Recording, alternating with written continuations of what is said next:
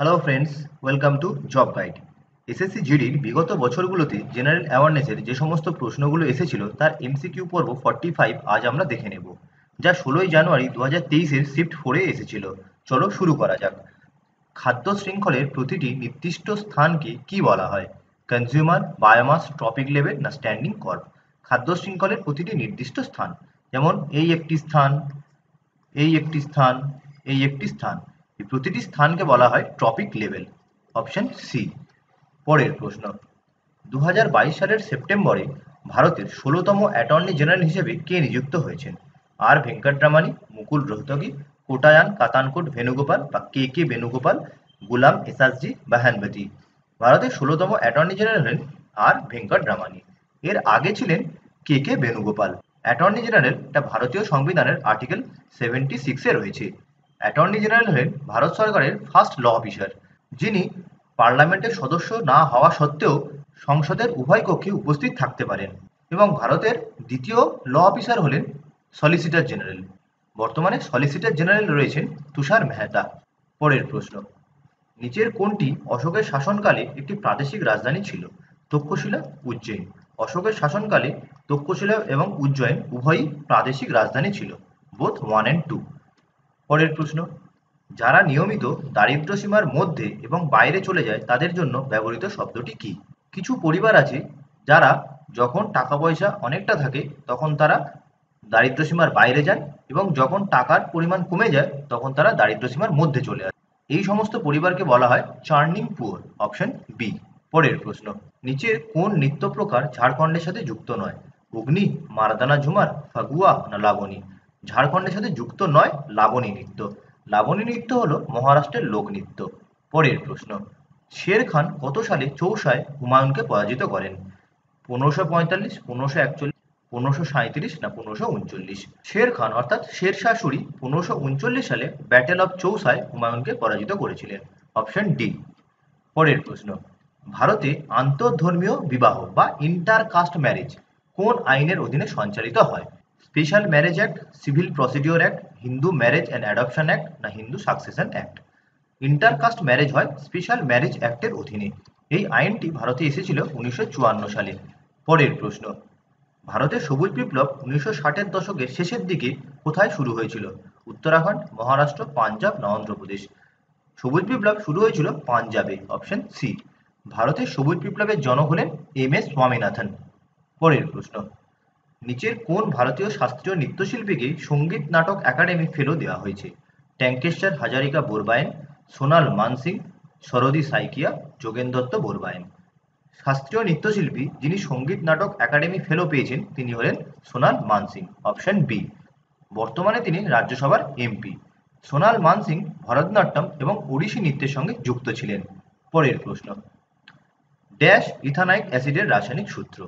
ইথানাইক অ্যাসিডের আরেকটি নাম হলো অ্যাসিটিক অ্যাসিড এবং তার সংকেত হলো C H three C double H option C পরের প্রশ্ন, নিচের কোন সংস্থা আন্তর্জাতিক বাণিজ্য পরিচালনা করে? আন্তর্জাতিক বাণিজ্য অর্থাৎ ওয়ার্ল্ড ট্রেড, তা অর্গানাইজ করে world trade organisation, option B world trade অর্গানাইজেশনের প্রতিষ্ঠা হয়েছিল উনিশশো পঁচানব্বই সালে। এর হেডকোয়ার্টার জেনেভা, সুইজারল্যান্ডে অবস্থিত। ওয়ার্ল্ড ট্রেড অর্গানাইজেশনের মধ্যে এখন একশো চৌষট্টিটি দেশ রয়েছে।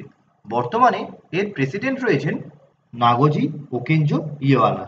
ওয়ার্ল্ড ট্রেড অর্গানাইজেশনের ইতিহাসে ইনি হলেন প্রথম আফ্রিকান মহিলা এবং তিনি হলেন একজন নাইজেরিয়ান। পরের প্রশ্ন, শিল্পগতভাবে উন্নত নগর কেন্দ্রগুলি সাধারণত কি দ্বারা পরিবেষ্টিত হয়? কৃষি প্রধান শহুরে অঞ্চল এগ্রিকালচারাল আরবান হিন্টারল্যান্ড উপকূলীয় অঞ্চল বা কোস্টাল হিন্টারল্যান্ড সমুদ্র বন্দর অঞ্চল বা সিপোর্ট হিন্টারল্যান্ড কৃষি প্রধান গ্রামীণ অঞ্চল বা এগ্রিকালচারাল রুরাল হিন্টারল্যান্ড শিল্পগতভাবে উন্নত নগর কেন্দ্রগুলি কৃষি প্রধান গ্রামীণ অঞ্চল দ্বারা বেষ্টিত হয়। অপশন ডি পরের প্রশ্ন, কে রাজ্যগুলিতে মন্ত্রীদের পদ এবং পোর্টফোলিও বরাদ্দ করে? মুখ্যমন্ত্রী, রাজনৈতিক দলের প্রধান স্পিকার না রাজ্যপাল? রাজ্যগুলিতে মন্ত্রীদের পদ এবং পোর্টফোলিও বরাদ্দ করেন মুখ্যমন্ত্রী এবং কেন্দ্রে এই কাজ করে থাকে প্রধানমন্ত্রী। পরের প্রশ্ন দু হাজার কুড়ি সালের গ্রীষ্মকালীন প্যারাঅলিম্পিক কোথায় আয়োজিত হয়েছিল? জাপান, রাশিয়া, কোরিয়া না ফ্রান্স? গ্রীষ্মকালীন প্যারাঅলিম্পিক দু হাজার কুড়ি হয়েছিল জাপানে। Option A. এবং দু হাজার চব্বিশ সালের সামার অলিম্পিক হবে প্যারিসে।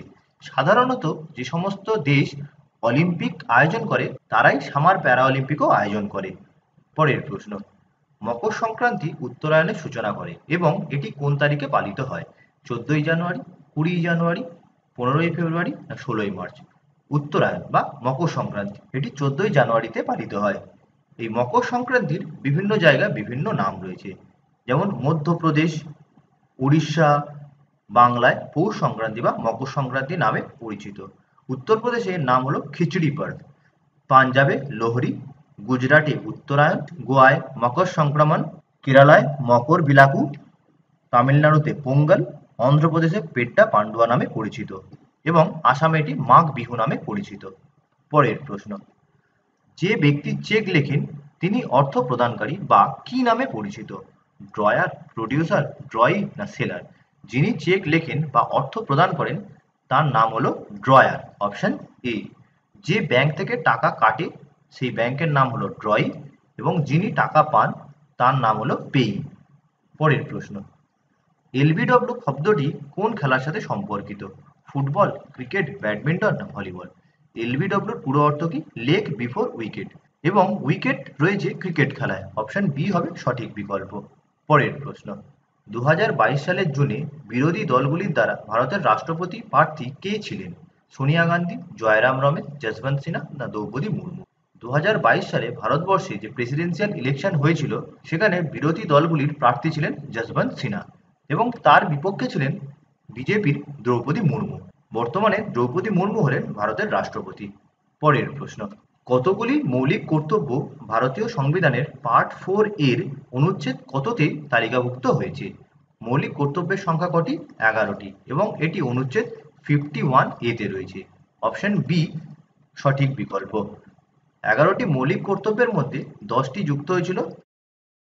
Constitutional amendment act nineteen seventy সিক্সে এবং আর একটি যোগ হয় eighty six constitutional amendment act two thousand টুতে বর্তমানে এগারোটি মৌলিক কর্তব্য।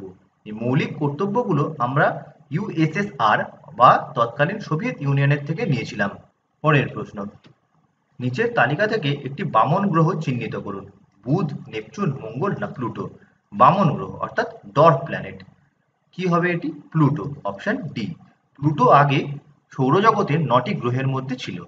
কিন্তু বর্তমানে সৌরজগতে গ্রহের সংখ্যা আটটি। প্লুটোকে দু হাজার ছয় সালে international astronomical union, dwarf planet বা বামন গ্রহ হিসেবে চিহ্নিত করে। তাহলে আজ এ পর্যন্তই। দেখা হবে পরের ভিডিওতে। ভিডিওটি ভালো লাগলে লাইক করো, শেয়ার করো এবং পরবর্তী আপডেটের জন্য চ্যানেলটিকে সাবস্ক্রাইব করতে ভুলো না।